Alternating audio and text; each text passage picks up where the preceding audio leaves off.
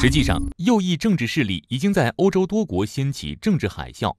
九月十一号，瑞典举行议会选举，由右翼政党组成的反对党阵营以微弱优势击败了支持现任政府的左翼党派阵营。极右翼政党瑞典民主党一跃成为瑞典议会第二大党，成为最大赢家。九月十四号，瑞典首相安德松宣布辞职，这也意味着右翼政党将组建新一届瑞典政府。在法国，极右翼政治人物玛丽莲·勒庞虽然在四月总统大选中不敌马克龙，但在今年六月举行的法国议会大选中，他极右翼政党国民联盟一举斩获五百七十七个席位中的八十九席，成为议会第三大党团。此外，西班牙和葡萄牙的极右翼党派也呈现出崛起之势。今年以来，欧洲的右倾化趋势愈发明显，右翼政党在多个国家的政坛占据重要位置。那为什么会出现这样的情况呢？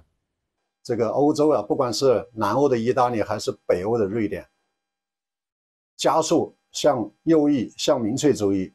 思潮转型啊，这个就说明目前的欧洲出了大问题了。主要是传统的建制派政党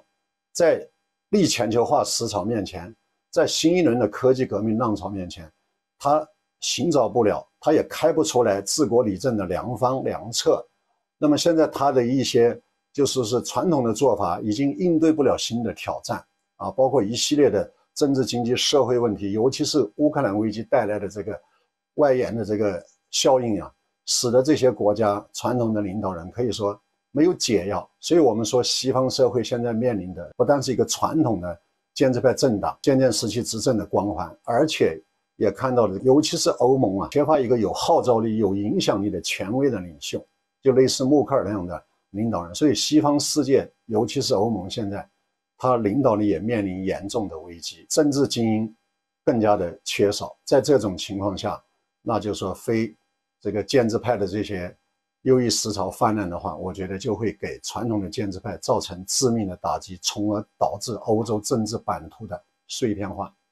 那您觉得未来几年欧洲的政治风向还会不会进一步向右转？这会给本就错综复杂的欧洲局势带来怎样的影响呢？我觉得未来的这个欧洲啊，在三五年内啊，大的政治生态环境应该是向右翼、向极右翼方向转型。那么当中也不排除有的是向左翼民粹主义的这个转型。你比如说，现在德国的三党联合政府当中的绿党，实际上我认为它就是一个带有民粹色彩的左翼政党。包括这一次意大利之所以提前大选，由于上一届。执政联盟当中的五星动党，它也是左翼色彩的民粹主义政党。它整个在这个中左翼联盟里面，它率先发难，它不愿意再在这个执政联盟里面待着，才导致了意大利出现了提前选举的这么一个局面。所以说，总的看来是右翼，尤其是极右翼的民粹主义色彩，包括左翼的民粹主义，他们将左右欧洲的大的这个政治。但是他们的前景，我觉得也不是那么乐观。即便这些政党上来了，即便他们要反对欧洲一体化，即便要修改欧盟宪法条约，但是这些东西不是他作为一个领导人或者一个政党他能左右得了的，因为毕竟还有传统的建制派，还有一部分喜欢传统建制派的这些选这些人对这个比较走极端的民粹主义思潮也会形成一种相互之间的一个掣肘，所以这个我觉得以后是建制派和反建制派之间的斗争呀，将更加的激烈。